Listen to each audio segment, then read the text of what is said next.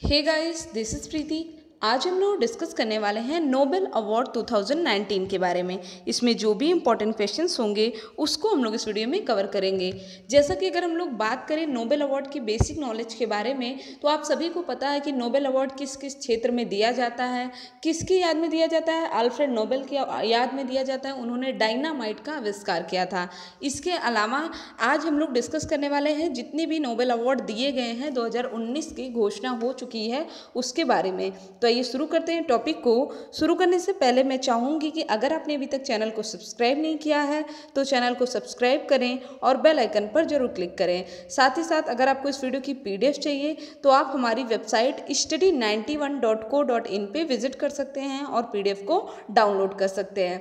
इसके अलावा एक इंपॉर्टेंट अनाउंसमेंट है आपके लिए कि आपके आसपास जो भी टी या फिर सी टेट यूपी टेट किसी भी टेट की अगर क्लास करते हैं या फिर वो एग्ज़ाम देना चाहते हैं तो उनके लिए फ्री क्लासेस अवेलेबल है हमारे चैनल पे वे डेली देख सकते हैं। चलिए, बात कर रहे हैं हम लोग नोबेल अवार्ड के बारे में। तो दो तीन दो तीन इंपॉर्टेंट पॉइंट जान लेते हैं। जैसे इसकी शुरुआत कब हुई है?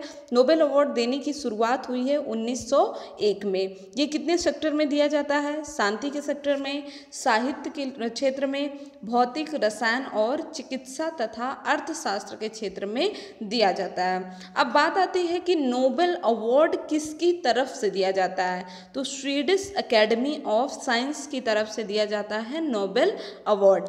इसमें कुल सात लाख सत्तर हज़ार पाउंड की राशि दी जाती है।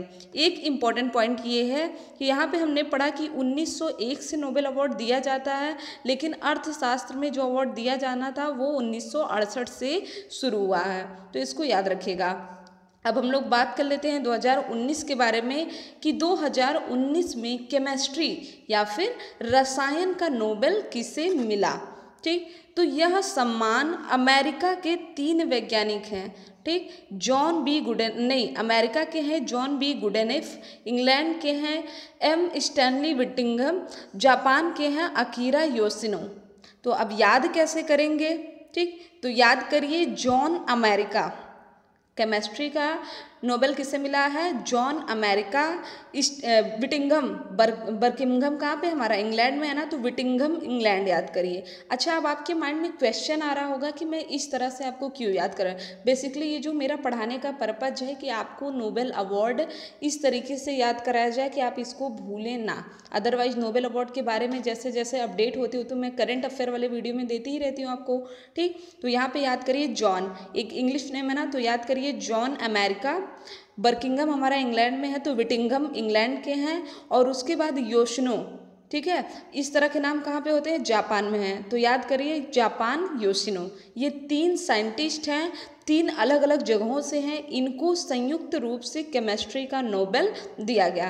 क्या क्या है? John America, Whittingham England Yoshino, Japan. दो तीन बार बोल लेंगे ईजिली याद हो जाएगा। इन तीन वैज्ञानिकों को केमिस्ट्री का नोबेल पुरस्कार दिया गया।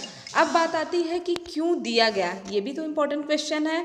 तो यह अवार्ड इनको दिया गया है लिथियम आयन बैटरी के विकास में महत्वपूर्ण भूमिका निभाने के लिए।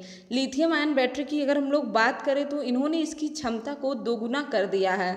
इससे होता क्या है? इससे मोबाइल फ़ोन लैपटॉप और इलेक्ट्रिक वाहनों में इसका प्रयोग किया जाता है। थोड़ा सा जान लेते हैं इस बैटरी के बारे में।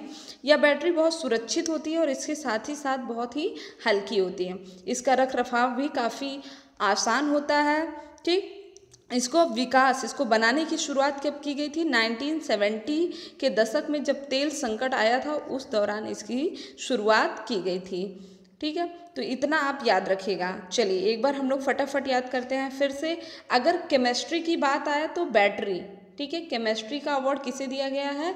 तीन वैज्ञानिकों को, जिन्होंने लिथियम आयन बैटरी को डेवलप किया या फिर हम लोग कहें अपग्रेड किया है। कौन कौन है? तो यहाँ पे हैं जॉन अमेरिका बटिंगम इंग्लैंड एंड तीसरा है योशिनो, जापान। ठीक? Lithium ion battery. अब आई थिंक आपको याद हो गया होगा। एक चीज़ और हम लोग यहाँ पे पढ़ लेते हैं कि 2018 में यह पुरस्कार किससे दिया गया था? तो मैंने 2018 में बताया था कि यह अर्नोल्ड स्मिथ और ग्रेगरी को दिया गया था। अर्नोल्ड स्मिथ और ग्रेगरी को दिया गया था एंजाइम के क्षेत्र में शोध के लिए यह अवार्ड। ठीक?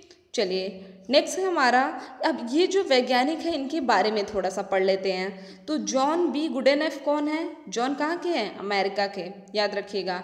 गुडेनएफ जो है, ये बम बी गमस्टन यूनिवर्सिटी में प्रोफेसर हैं। बड़ा खतरनाक यूनिवर्सिटी लग रहा है, ठीक है? तो यहाँ पे ये इस यूनिवर्सिटी के प्रोफेसर हैं। इसके साथ साथ यह नोबेल अवार्ड पाने वाले सबसे उम्र दराज विजेता होंगे। क्यों? क्योंकि ये 97 ईयर ओल्ड हैं। 97 साल के पुराने हैं। 2018 में आर्थर अस्किन को यह अवार्ड मिला था नोबेल पुरस्कार, जो कि छियानवे साल के थे। ठीक? अब बात आती है विटिंगम की। विटिंगम कहाँ के हैं? इंग्लैंड के हैं। इनको सुपर कंडक्टर पर शोध इन्होंने शुरू किया और एक उच्च ऊर्जा से भरपूर तत्व की खोज किया और उन्होंने इसका उपयोग कहाँ पे किया? लिथियम बैटरी में एक उच्च प्रौद्योगिकी या फिर हाई टेक्नोलॉजी कैथोड बनाने के लिए। तो इनका भी योगदान हुआ ना लिथियम बैटरी वाले में। ठीक? उसके बाद है हमारा अकीरा योशिनो। ये जापान के हैं और कैथोड के आधार पर अकीरा योशिनो ने 1985 ने व्यावसायिक रूप से पहली सक्षम लिथियम आयन बैटरी बनाया था। तो ये था हमारा केमिस्ट्री का नोबेल पुरस्कार। नेक्स्ट स्लाइड पे आने से पहले मैं आपको एक बार फिर से याद करा दूँ। केमिस्ट्री का नोबेल अवार्ड दिया गया है लिथियम बैटरी के लिए, ठीक है? और किसे दिया गया है? तो जॉन, जो कि अमेरिका के हैं बिटिंगम जो कि इंग्लैंड के हैं और योसिनो जो कि जापान के हैं, इनको दिया गया है केमिस्ट्री का नोबेल। नेक्स्ट है हमारा फिजिक्स के क्षेत्र में नोबेल पुरस्कार किससे दिया गया है? फिजिक्स। ठीक? सौ से याद करें, यह सम्मान किसे दिया गया है? जेम्स पीबल्स को। ठीक है? जेम्स पीबल, मिशेल मेयर और डीडियर क्वेलोच को। ये तीन वैज्ञानिक हैं। केमिस्ट्री का भी तीन को दिया गया है और यहाँ पे फिजिक्स का भी तीन को दिया गया है। किस लिए दिया है? ब्रह्मांड विज्ञान पर नए सिद्धांत रखने के लिए और नए ग्रह की खोज के लिए। सौरमंडल के बाहर एक नए ग्रह की खोज के लिए, ब्रह्मांड विज्ञान पर नए सिद्धांत रखने के लिए अवार्ड दिया गया है। अगर हम लोग नए सिद्धांत की बात करें, क्योंकि आपसे अब यहाँ पे देखिए क्वेश्चन और ज़्यादा ट्विस्ट कर सकता है। क्या फिजिक्स का नोबेल पाने वाले वह वैज्ञानिक कौन हैं जिनको ब्रह्मांड विज्ञान पर नए सिद्धांत के लिए नोबेल पुरस्कार 2019 का दिया गया? तो ये कौन है? James Peebles. जबकि अगर आपसे पूछे कि सौरमंडल से परे ग्रह खोजने के लिए नोबेल अवार्ड किसे दिया गया 2019 में तो मिशेल मेयर और डीडियर क्वेलेज को। ये दो वैज्ञानिक हैं जिन्होंने एक काम किया और एक वैज्ञानिक है जिन्होंने ब्रह्मांड विज्ञान पर नया सिद्धांत रखा है तो इसको याद रखेगा। अब बात आती है कि ठीक है, एक काम के लिए दो लोग लगे हैं तो आधा हिस्सा किससे मिलेगा? अगर आप नॉर्मली भी देखें तो एक काम को दो लोग करते हैं और एक काम को आदमी अकेले करता है। तो ज़ाहिर सी बात है, हमें दो ही जगह तो डिवाइड करना होगा। तो जेम्स पीबल्स को आधा हिस्सा मिल जाएगा अवार्ड का और मिसिल मेयर तथा डीडीए क्वेलेज को आधा आधा बांट दिया जाएगा। ठीक? बात आती है कि 2018 में किसे दिया गया था नोबेल पुरस्कार? आर्थर अस्किन गेराड मोरेयू और डोना स्ट्रिकलैंड इन तीनों को दिया गया था नोबेल पुरस्कार। जान लेते हैं यहाँ पे कि ये लोग कहाँ से बिलोंग करते हैं? James Peebles. ठीक? तो जेम्स पीबल्स कहाँ के हैं? अमेरिकी नागरिक है। अभी हम लोगों ने याद किया था जॉन अमेरिका। यहाँ पे आप याद करिए, जेम्स अमेरिका। तो ये कनाडाई मूल के अमेरिकी नागरिक हैं। अमेरिका में ही हमारा पड़ता है, कनाडा, उत्तरी अमेरिका, दक्षिणी अमेरिका है, कनाडा भी वहीं पे है। तो ये प्रिस्टन विश्वविद्यालय में विज्ञान के प्रोफेसर हैं। इन्होंने बिग बैंग, डार्क मैटर और डार्क एनर्जी पर काम किया है और इस काम को आधुनिक ब्रह्मांड विज्ञान का आधार माना जाता है। फिर है हमारा मिशेल मेयर। मिशेल मेयर कहाँ पे इनका जन्म हुआ है? स्विट्जरलैंड में। ठीक है? मे अर जर। ठीक है? तो याद करिए Michel Mayor Switzerland. Michel Switzerland. ठीक? नहीं याद है तो याद कर लीजिए मिशेल ओबामा घूमने कहाँ जाएँगे? स्विट्जरलैंड जाएँगे। तो याद कर लीजिए मिशेल कहाँ के हैं? स्विट्जरलैंड के। और इन्होंने 51 पेगासी बी ग्रह की खोज किया। ये जेनेवा विश्वविद्यालय में कार्यरत हैं। फिर डीडियर। डीडियर कॉलेज भी इन्होंने भी इसी ग्रह की खोज किया है। ठीक और ये भी जेनवा विश्वविद्यालय के। तो एक चीज़ तो है, फिजिक्स में जो नोबेल अवार्ड दिया गया है, इनमें दो खोज हुआ एक तो ब्रह्मांड विज्ञान का आधार मानकर खोज किया गया है, दूसरा एक नया ग्रह खोजा गया है। जो नया ग्रह खोजा गया है, इसको दो लोगों ने मिलकर किया है, मिशेल मेयर और डीडियर क्वेलेज ने। मेयर क्वेलेज ने ये दोनों स्विट्जरलैंड से बिलोंग करते हैं और जेम्स कहाँ से बिलोंग करते हैं? अमेरिका से। ठीक? इन्होंने आधुनिक ब्रह्मांड विज्ञान का कॉन्सेप्ट दिया है। ठीक है? चलिए नेक्स्ट क्वेश्चन की बात करते हैं हम लोग। साहित्य का नोबेल पुरस्कार। साहित्य का नोबेल पुरस्कार काफ़ी इंपॉर्टेंट है। क्यों इम्पोर्टेंट है? इसलिए क्योंकि साल 2018 में जो हैश टैग मीट्यू चल रहा था ना, एक हैश टैग मीटू जिसमें यौन उत्पीड़न का मामला चल रहा था। इस घटना के कारण 2018 में साहित्य का नोबेल नहीं बटा था और इस बार 2018 और 19 दोनों का नोबेल पुरस्कार घोषित कर दिया गया। तो किसे किसे दिया गया है? 2018 के लिए साहित्य का नोबेल दिया गया है। लेखक हैं जो कि पोलैंड की हैं। पोलिस बोले तो पोलैंड की ये हैं ओल्गा टोकार्क जुक काफ़ी लोगों के माइंड में क्लिक कर रहा होगा कि ये नाम तो हम लोगों ने पहले सुना है। हाँ इन्हीं की रचना थी फ्लाइट्स इन्हीं का एक उपन्यास था जिसे दिया गया था बुकर प्राइज 2018 का, इसलिए आपको याद है। उसके बाद है हमारा ऑस्ट्रेलियाई लेखक हैं पीटर हैंडके ठीक? अब याद कैसे करेंगे? ऑस्ट्रेलिया अगर ग्लोब में देखें तो सबसे नीचे है ना? तो याद कर लीजिए, पीट पीट के नीचे कर दिया। तो ऑस्ट्रेलियाई लेखक कहाँ के हैं? ये ये पीटर हैंड के कौन है? ये एक ऑस्ट्रेलियाई लेखक है। थोड़ा सा इनके बारे में भी जान लेते हैं। Peter Handke Australia Austria मूल के लेखक हैं। इनको यह पुरस्कार नएपन में संबंधित लेखन और भाषा में नवीनतम। एक सेकंड, थोड़ा सा मुझे डाउट लग रहा है। ऑस्ट्रेलियाई, ऑस्ट्रियाई है। यहाँ पे आप याद कर लीजिएगा, ये कौन से लेखक हैं? ऑस्ट्रेलिया, ऑस्ट्रिया के, ठीक? ना कि ऑस्ट्रेलिया के। तो इसको थोड़ा सा चेंज कर। अगर मैंने भी बोल दिया होगा तो लाख, लाखों लोगों का कमेंट आ जाएगा कि हाँ दिक्कत है, ठीक? तो फ़िलहाल हम लोग बात करते हैं, पीटर हैंड के कहाँ के हैं? ये ऑस्ट्रिया के लेखक हैं। और इनके लेखन में जो नयापन होता है और भाषा में जो नवीनतम प्रयोग होते हैं, उनको इसके लिए नोबेल अवार्ड 2019 का दिया गया है। फिर है 2018 का ओल्गा टोकारचुक को दिया गया है।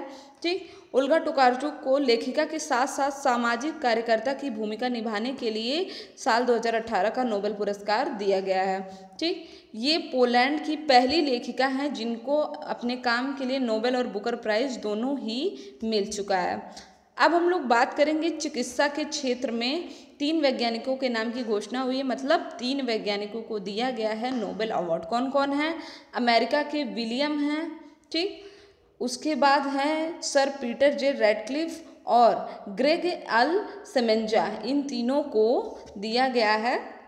संयुक्त रूप से चिकित्सा का नोबेल अवार्ड। अच्छा इन्होंने किया क्या है? तो कोशिकाओं के ऑक्सीजन ग्रहण पर इन्होंने काम किया है। खोज के लिए इन्हें दिया जा रहा है। ठीक है?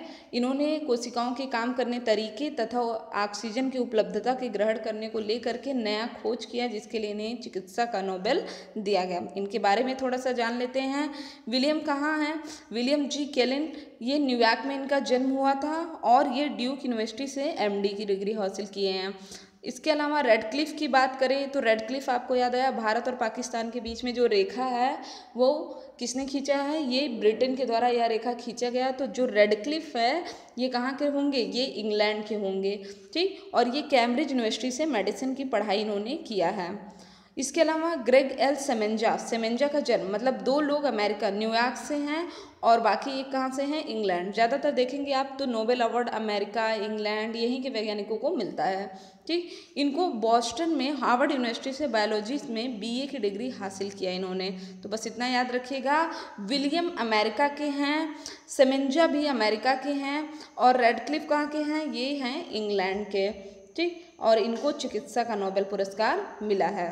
तो आज के लिए बस इतना ही। वीडियो आपको अच्छा लगे तो चैनल को सब्सक्राइब करना बिल्कुल मत भूलिएगा। इसके साथ साथ मैंने आपको बता दिया कि जो भी आज आज आपके आसपास टेट की तैयारी करने वाले हैं, आप उन्हें बता सकते हैं कि हमारे चैनल पे टेट की पूरी फ्री क्लासेस दी जा रही हैं। इसके अलावा आप हमारी वेबसाइट पे विज़िट करके सभी सब्जेक्टिव मैटर्स के टेस्ट सॉल्व कर सकते हैं। जो एग्ज़ाम आप दे रहे हैं, उसके प्रीवियस ईयर के सेट सॉल्व कर सकते हैं मॉक टेस्ट सॉल्व कर सकते हैं। तो आज के लिए बस इतना ही। Thank you friends thank you so much